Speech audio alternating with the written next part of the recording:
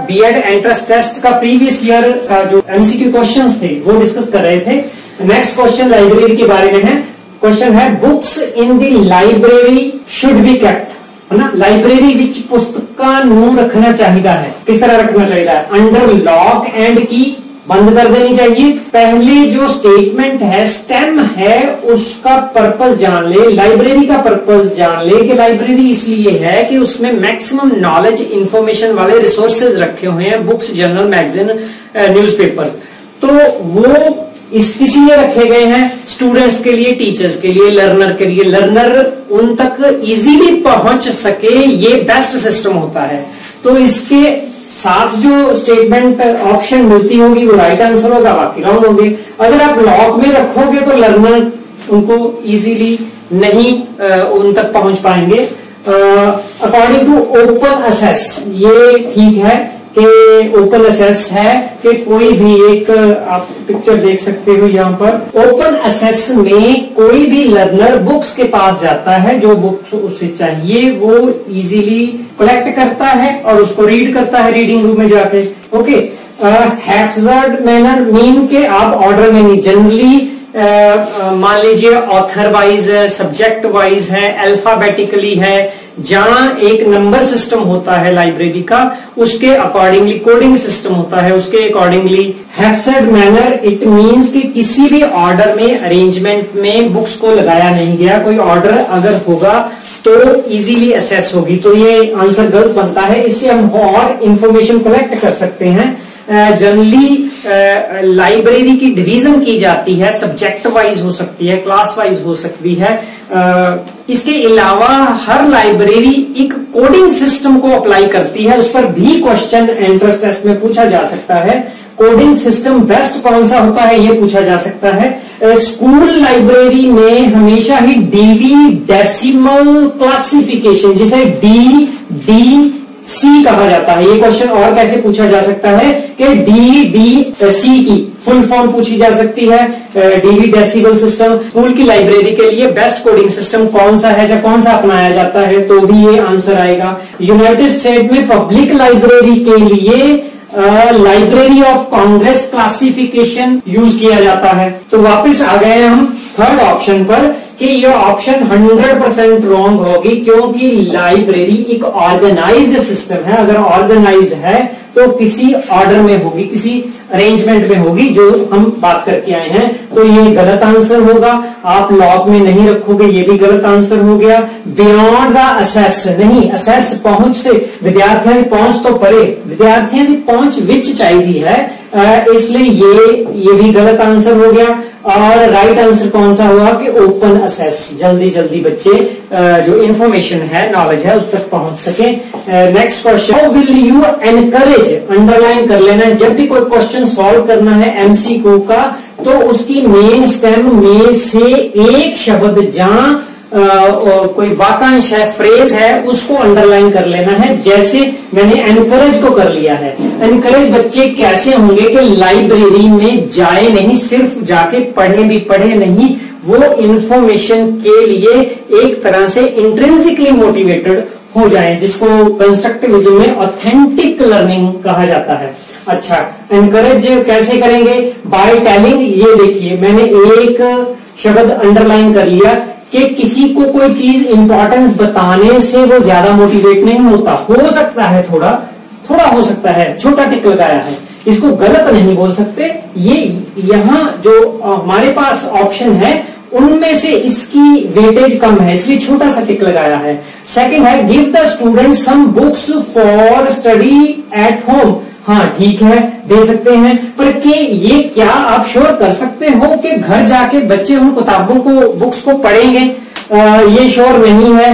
आ, अगर बच्चे हमारे सामने ही पढ़ते नहीं है तो घर जाके कैसे पढ़ेंगे? ये पॉसिबल नहीं है। तो छोटा टिक है। हाँ इशू करना, उनको बुक्स अलाउ करना, देना, ये अच्छी बात है। अगर किसी बच्चे का ऑलरेडी इंटरेस्ट है, वो किसी का होता है, वो बुक उसे इशू की जाती है, वो रीड करेगा। लेकिन अगर आप बुक्स डिस्ट्रीब्यूट करते हो अलाउ करते हो तो ये ज़रूरी नहीं है कि हर बच्चा घर जाके पढ़ेगा। Take the student to the library during the vocation on holiday holiday में कोई लाइब्रेरी जाना चाहेगा, या प्ले ग्राउंड में, या मोबाइल के पास जाना चाहेगा। बच्चे एंजॉय करना चाहते हैं एंजॉय उनको पता है वोकेशन में के लिए उनको फ्रीडम होती है। तो लाइब्रेरी में कोई जाने की इच्छा नहीं रखेगा।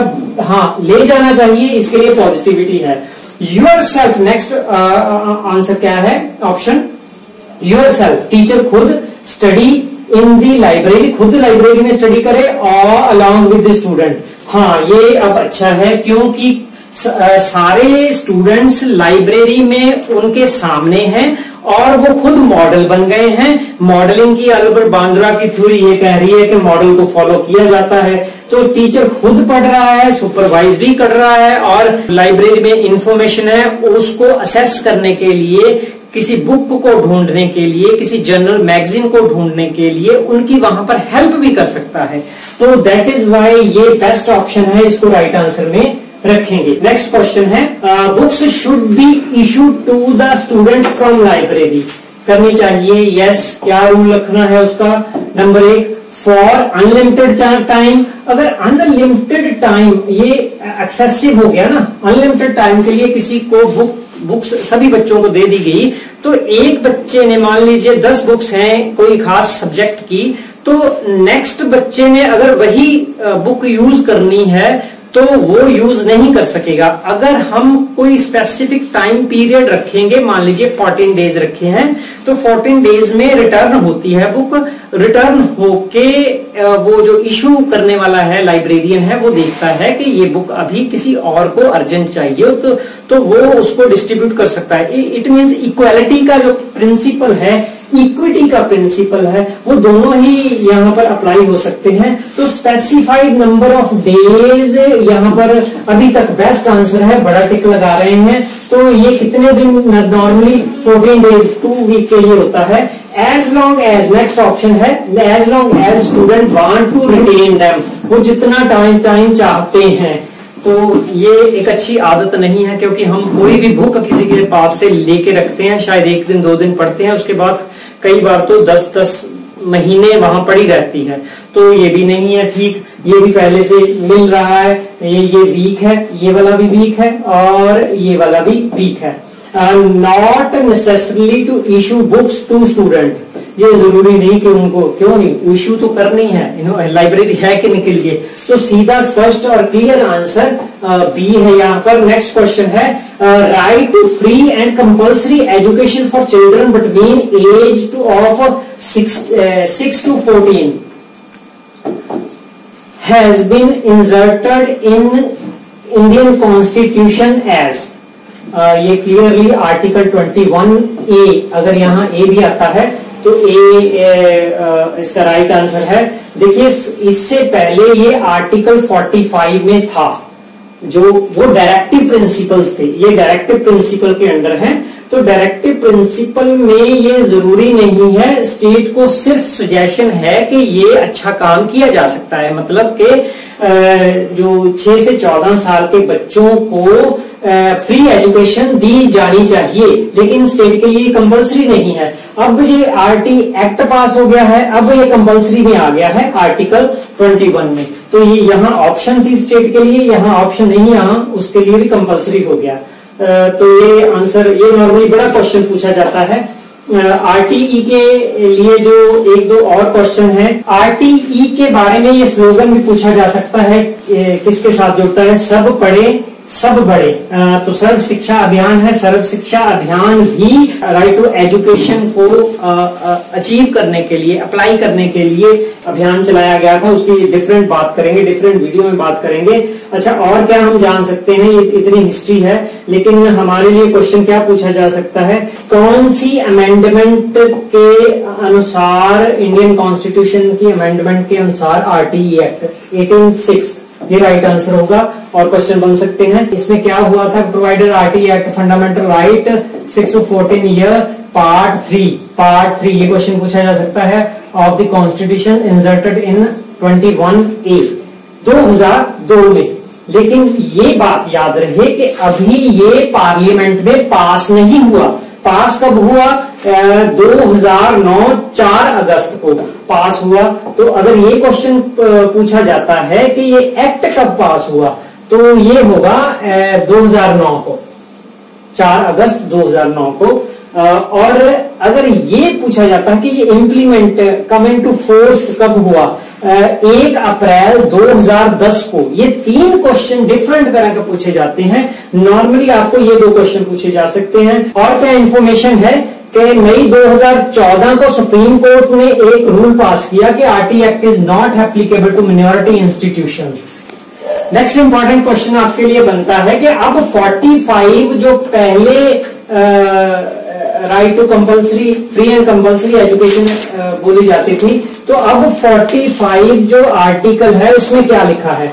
अब 45 में कौन सी प्रोविज़न है? Provision for early childhood care and education to children below the age of six year ये दो तीन क्वेश्चन आपके बनते हैं। आर्टिकल 45 उसको एसोसिएट कीजिए सी सी ई सी और छह साल से पहले वाले बच्चों इसमें कवर हो रहे हैं 45 institute of advance study is located at वैसे इसका सिंपल स्पष्ट आंसर ये नॉलेज बेस्ड आंसर है, शिमला में है।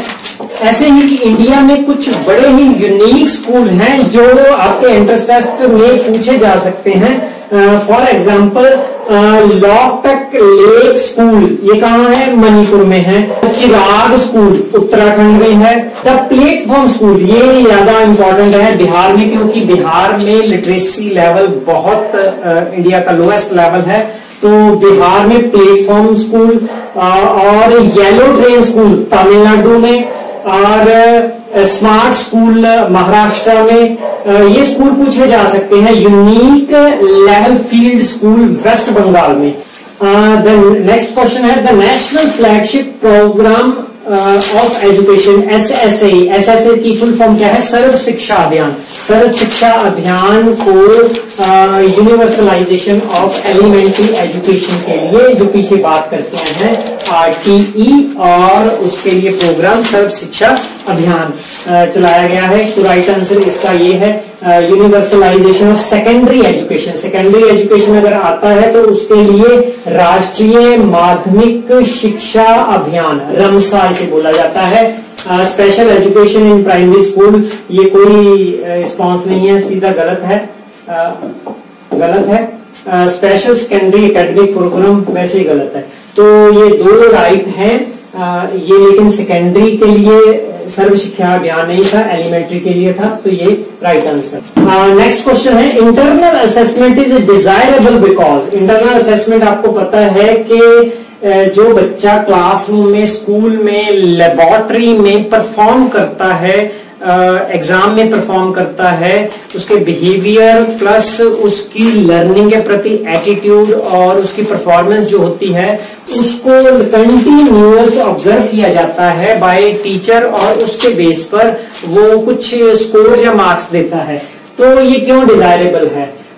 It helps to improvement in the aggregate याद रखना है हमारे पास जो स्कूल सिस्टम है जो एजुकेशन है, किसके लिए काम करता है? स्कोर्स के लिए मार्क्स के लिए? कि बच्चा मैक्सिमम मार्क्स गेन करे हंड्रेड में से जी 94.7 परसेंट ऐसे ही होता है ना स्कूल में। लेकिन पर्पज क्या है? लर्निंग है उनकी परफॉर्मेंस है बिहेवियरल चेंज है मॉडिफिकेशन इन बिहेवियर है, उनकी थिंकिंग को चेंज करना है पॉजिटिवली चेंज करना है, उन्हें क्रिटिकल थिंकर उन्हें क्रिएटिव थिंकर उन्हें लाइफ स्किल्स उनमें डेवलप करनी। तो ये सारा लर्निंग के इर्द गिर्द है। तो it helps to improvement in aggregate score जब भी मार्क्स या स्कोर की बात अब की जाएगी इट मीन्स के वो वीक ऑप्शन है। ओके इट क्रिएट्स फियर अब फियर देखिए नेगेटिव मैंने अंडरलाइन किया है, जो डिसीज़न बना रहा है, जो ऑप्शन आपकी, यहाँ पर स्कोर था, यहाँ पर फियर है। आप स्कूल में फियर पैदा करने के लिए नहीं, बच्चे को भेजा जाता। वहाँ इंजॉय करने के लिए लर्निंग करने के लिए जीवन के लिए, तैयार होने के लिए जॉन डीवी ने तो यहाँ तक कह दिया था कि education is life in it ये कोटेशन भी पूछी जा सकती है। जॉन डीवी की बड़ी पॉपुलर कोटेशन है। तो ये भी ऑप्शन गलत हो गया। ये स्कोर के लिए थोड़ा वीक हो गया।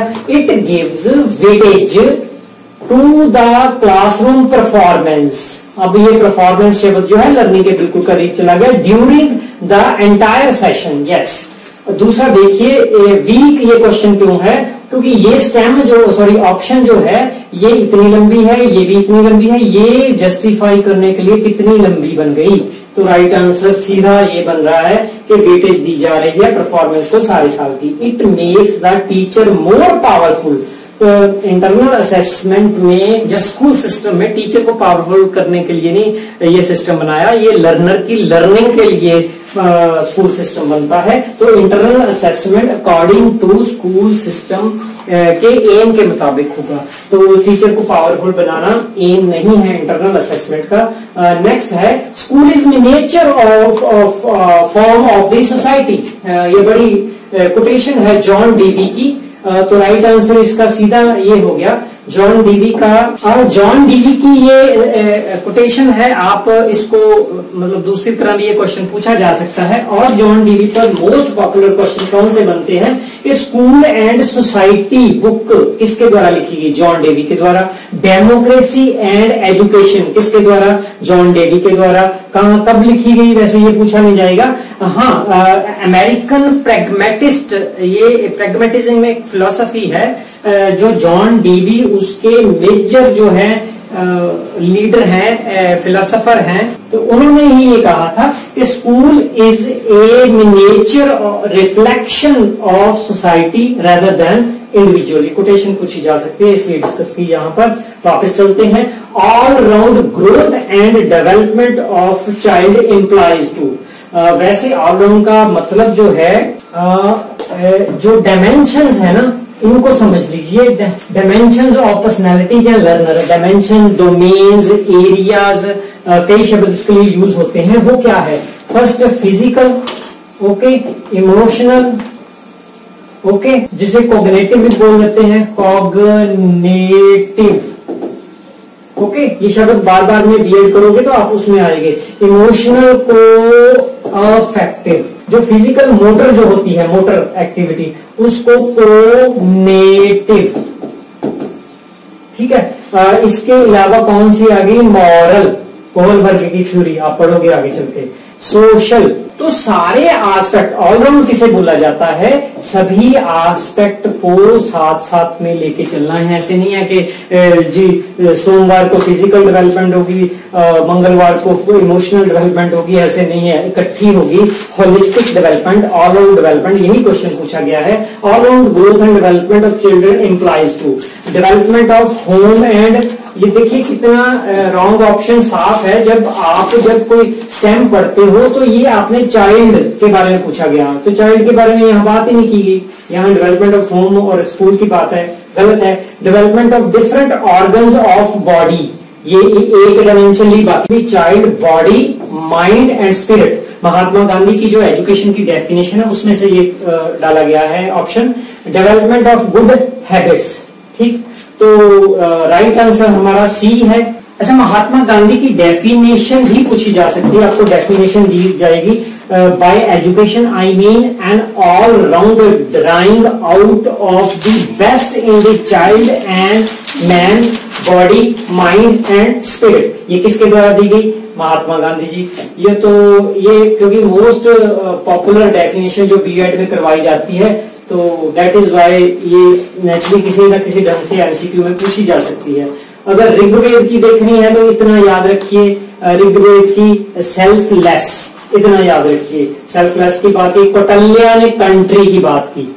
ठीक है? के फॉर कौटल्या के फॉर कंट्री ये एसोसिएशन बना रहा हूँ, अगर आपने याद रखनी है। एक विवेकानंद जी है, इनका मैंने मैनिफेस्टेशन रखा है याद। कि अंदर से जो है एजुकेशन मीन्स ऑफ़ मैनिफेस्टेशन अंदर जो सब कुछ है, उसको प्रकट करना, बाहर लाना। In divine perfection already existing in man लेकिन इन्होंने स्पिरिचुअल बात कर दी है कि डिवाइन परफेक्शन जो आपके अंदर है, उसको बाहर निकालना है।